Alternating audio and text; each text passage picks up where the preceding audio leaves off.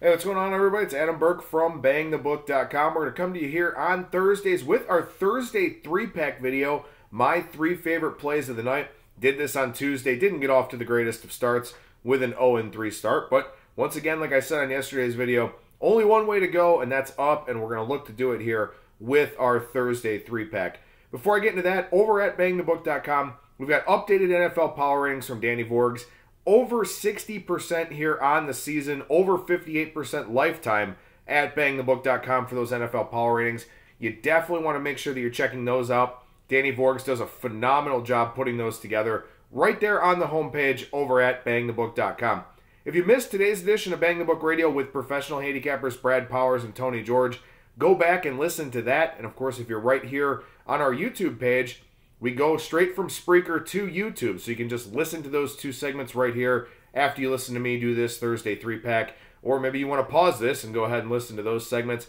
Can't blame you for that. But all of our segments on Bang the Book Radio available on iTunes, Spotify, Spreaker, Stitcher, and we've been adding them to YouTube now as well. So no reason not to hear every guest that we have on Bang the Book Radio. Also, over at bangthebook.com, all of the FBS bowl games have been previewed. You can go and check those out. My updated college football power ratings posted over there as well. NHL from Parker Michaels has been on fire this season. Go and check that out on a daily basis. And in fact, if you subscribe to notifications over at bangthebook.com, you'll know right away in the morning or in the afternoon, depending on how quickly information gets out, when Parker has updated that NHL article. So you'll never miss a day if you subscribe to notifications over at bangthebook.com. Yesterday in our video, I took a look at the weekend with some notes on college football and NFL line moves. Once again, if you missed that, very easy to find that right here on our YouTube page. Some of those lines have moved around a little bit, uh, but the information I talked about yesterday still very much relevant as we look ahead to the weekend.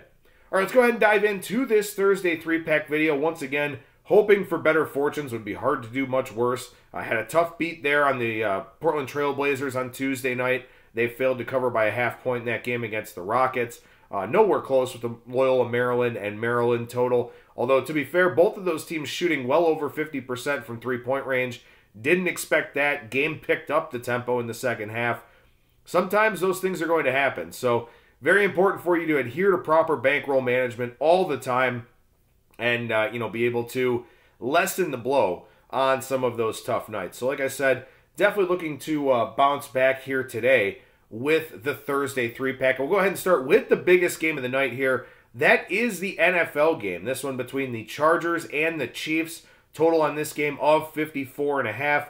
We're going to be looking at the under 54 and a half for this game. Now, I know what you're probably thinking. It is very hard to take an under in a Kansas City Chiefs game. I certainly agree with that. The offense very potent. The defense does have some holes here and there, so you certainly want to be mindful of that. But you look at this game here tonight.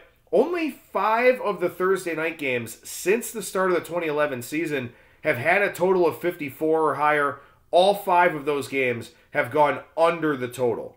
And obviously, the Thursday night game, a difficult travel spot, a difficult situational spot for the teams that are involved. Not a big surprise that with higher totals, we are seeing those games go under. Also, here, the Chargers 31st in the NFL in tempo. They're not going to speed up. It is certainly not in their best interest to move any quicker than usual here tonight against this potent Chiefs offense. So I would expect the Chargers to do what they do ball control, run the football. Should see a lot of Justin Jackson tonight. And also for the uh, Chargers this evening, no Austin Ekeler. So that really does hurt their pass efficiency when it comes to Philip Rivers and those dump offs to the backs in space. Maybe Melvin Gordon tries to give it a go tonight, but I don't think he'll be very effective. So I think from a pass efficiency standpoint tonight, the Chargers may be in a little bit of a more difficult spot. Maybe that suggests to Ken Whisenhunt they should run the football a little bit more. And as we know, Kansas City 31st in yards per carry allowed this season defensively. So if the Chargers want to run the football, clock's going to run, clock's going to move. Should be very helpful for us there. Uh, Chiefs pass defense does get a little bit of a boost tonight with Eric Berry on a pitch count, but also tonight, weather considerations. 10 to 15 mile per hour winds, 20 mile per hour gusts. Sure, you'd like to think that Pat Mahomes has the arm strength to cut through that wind, but wind is the biggest factor when it comes to football totals. It is not rain, it is not snow, it is wind. And with some windier conditions here tonight at Arrowhead Stadium, we'll take the under 54 and a half. Maybe you can find a stray 55 by the time this game kicks off. Uh, but I do like the under tonight in the Chargers versus Chiefs game. Move over to the college basketball side, and you know, once again, and this was something that hamstrung me a little bit on Tuesday. Maybe not the best of weeks to unveil this video series, uh, but very light college basketball cards this week, as we talked about. A lot of schools going through finals week. Things pick up on Saturday, as I mentioned on yesterday's video. But again, a very limited number of college basketball games here tonight. Although one did catch my eye.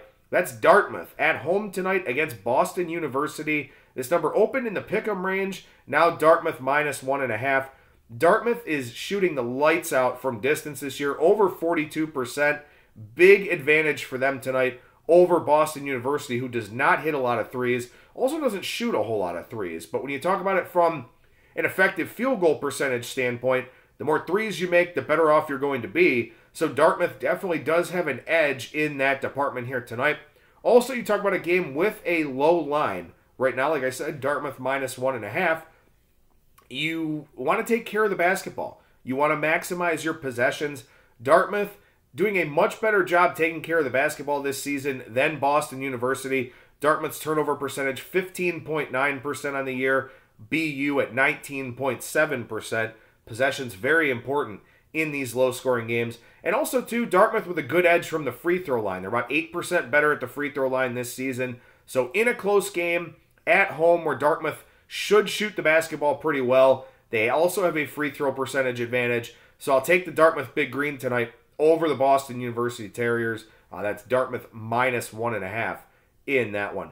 Then finally, we'll finish up this Thursday three pack on the ice with a look at Montreal, the Canadiens hosting the Carolina Hurricanes tonight. Very bad spot for Carolina. It's a standalone road game, a long way from home, and Carolina hosts Washington tomorrow night. Now, those two teams, uh, division rivals there in the Metropolitan Division, Montreal in the Atlantic Division. So, non division game here for Carolina, up on the road in Quebec. Uh, I just don't think it's a very good spot for the Carolina Hurricanes tonight. Curtis McElhinney not getting the start because he's under the weather. Petr Mrazek going to be in net for Carolina. Good goals against average, but a lackluster save percentage for Mrazek here on the season. Uh, it's a guy who's minus 3.3 goals saved above average this year, going up against Carey Price. So Montreal in a better spot and with the better goaltender here tonight. These two teams played in Montreal uh, just a few weeks ago. Canadiens big shot advantage 49 to 22 but lost the game 2 to 1. Have to think maybe a little bit of revenge on their minds here in this game tonight. But ultimately, I'm getting the better goaltender at a very reasonable price and also looking to fade a team in a very bad situational spot. So the Montreal Canadiens making it onto my card here tonight. One of the top plus minuses in terms of goals at 5 on 5. Carolina actually well down the board. They're 26th in goal differential at 5 on 5 and excuse me, and you know, Claude Julien, the head coach of the Montreal Canadiens, very, very good from an advanced metrics standpoint with Boston. He's doing the same here with Montreal as well. So the Canadiens, a solid team all around. They got blown out in their last game 7 to 1. I think they're looking to bounce back. And again, like I said, better goaltender, better spot for the home team here tonight.